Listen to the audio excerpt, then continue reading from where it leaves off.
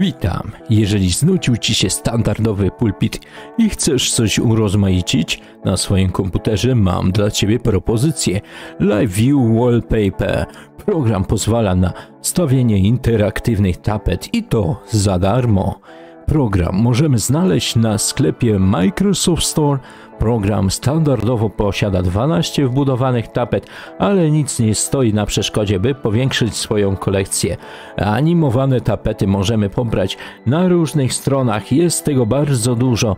Program jest bardzo intuicyjny. Za pomocą przycisku dodaj możemy dodać swoją pobraną tapetę. Przycisk aktywna tapeta dostosujemy, czy tapeta ma być na jednym ekranie, czy rozciągnięta, czy duplikowana na paru ekranach. Jeżeli wejdziemy w ustawienia, możemy zobaczyć, że program posiada też szereg różnych opcji, które możemy spersonalizować pod swoje potrzeby. Link do tapet i programu znajdziecie w opisie, a to by było na tyle. Jeżeli chcesz więcej takich materiałów, zostaw łapkę, zostaw subskrypcję, no i hej!